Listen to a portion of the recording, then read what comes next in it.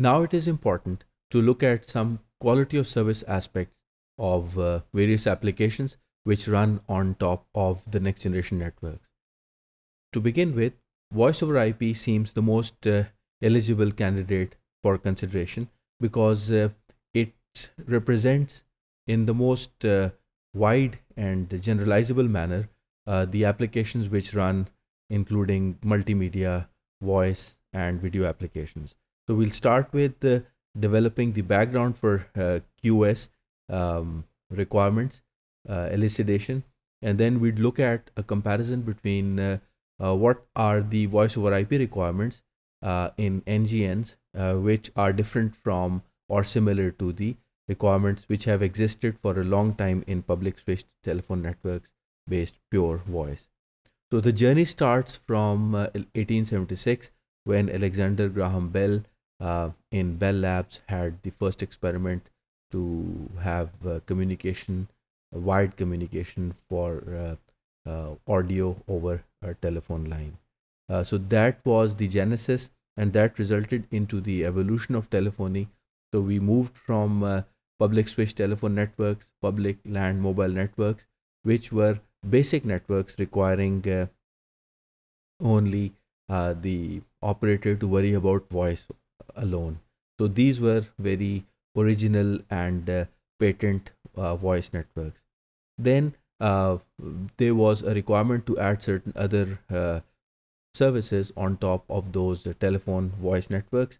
So that turned out to be more like a service. So it means voice was no more monolithically and by itself as a singular application related to that network certain other services also emerged. So voice actually got a new look that is it was a service now running on a network. Uh, in ngns uh, the uh, provisioning of voice is considered to be more like an application. So it means uh, different applications can provide different voice related services. So it means that we have seen the migration from being a pure uh, telephony oriented uh, viewpoint on voice to uh, what NGNs are all about IP centricity.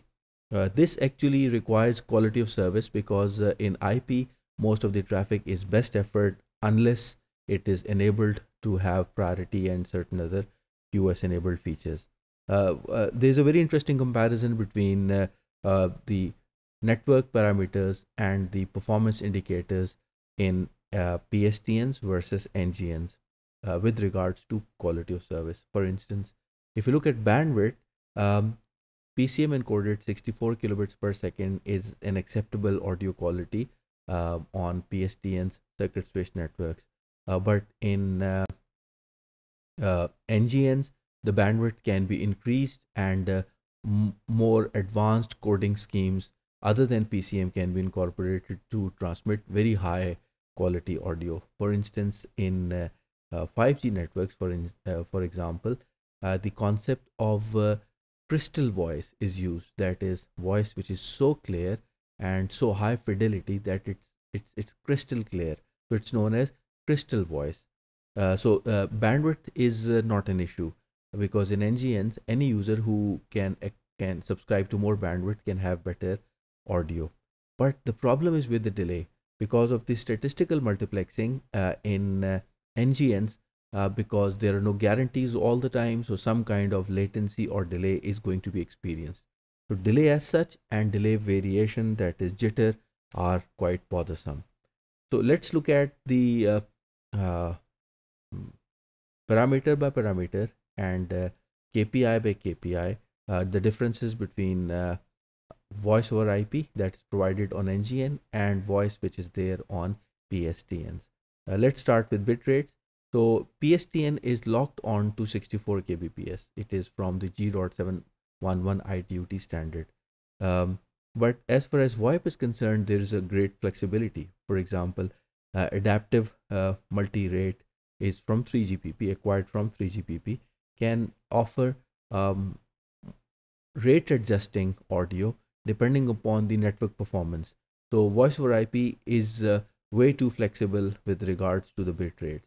Um, similarly, in uh, circuit switched uh, PSTNs, uh, since there is absolute uh, circuit switching, uh, there is no flexibility to accommodate large number of users.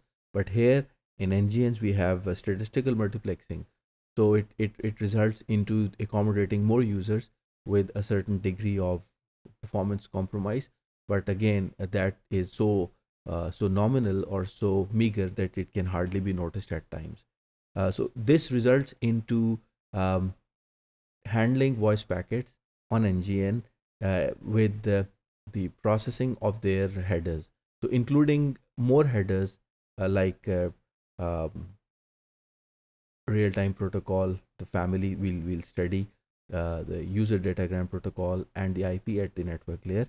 Now adding up these headers to the voice payload means that uh, the original um, data rate that is specific to that particular encoding scheme uh, increases.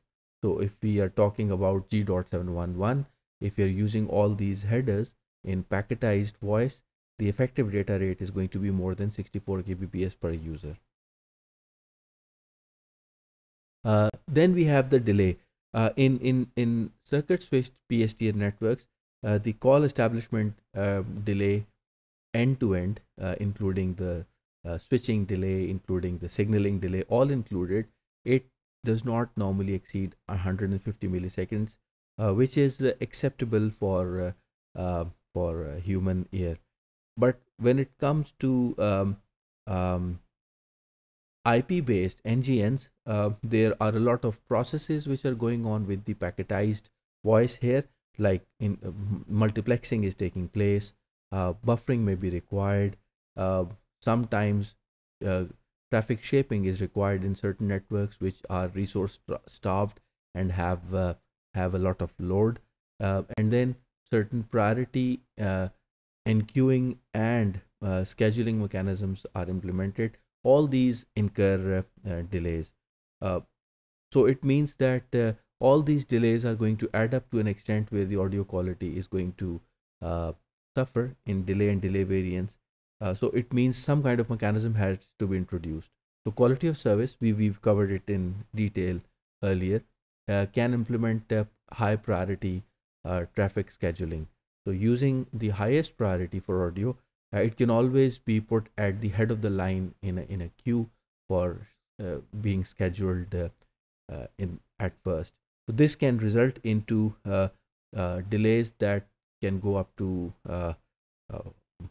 400 milliseconds, which is not acceptable. But again, this is the world of IP. So that is that results into some kind of degraded performance. But again, uh, using priority queuing, you we can still bring it back to around 40 milliseconds. Then we have uh, jitter um, again because of uh, the unexpected behavior. Uh, we can have variable delay uh, for uh, the arrival of audio packets on the receiving side. so this can cause variable playback experience. So you might have uh, experienced this while while talking to your loved ones uh, you may have noticed that suddenly uh, audio starts to get worse and it, it may even get dropped. So in order to uh, handle such a problem specifically to handle jitter um, one thing can be uh, encoded in the network that is QoS enabled paths once um, established uh, can be used for all the subsequent packets which belong to the same stream of a certain audio conversation. And then there could be the usage of a, a buffer at the receiver end in in the player uh, such that if if if a player or if some uh, audio system is playing back the audio on the speaker then it is buffered at the playout buffer known as jitter buffer for a while and then it is played back. So it is buffered or enqueued, then played. This results into uh, arrival of more packets, uh, which are then converted from from packet into uh, analog voice to be sent on to the speakers. This process takes time. So by the time it is getting played back, more packets would be received. Uh, then we have a, a, difference in the network equipment between PSTNs and VoIP enabled NGNs. Uh, in PSTNs, there's a beautiful architecture of uh, exchanges. So having these exchanges results into well established and expected performance. In VoIP, uh, this is carried out by something similar. We have servers. These servers run uh, the session initiation protocol and diameter uh, instead of signaling standard 7. That's another obvious difference.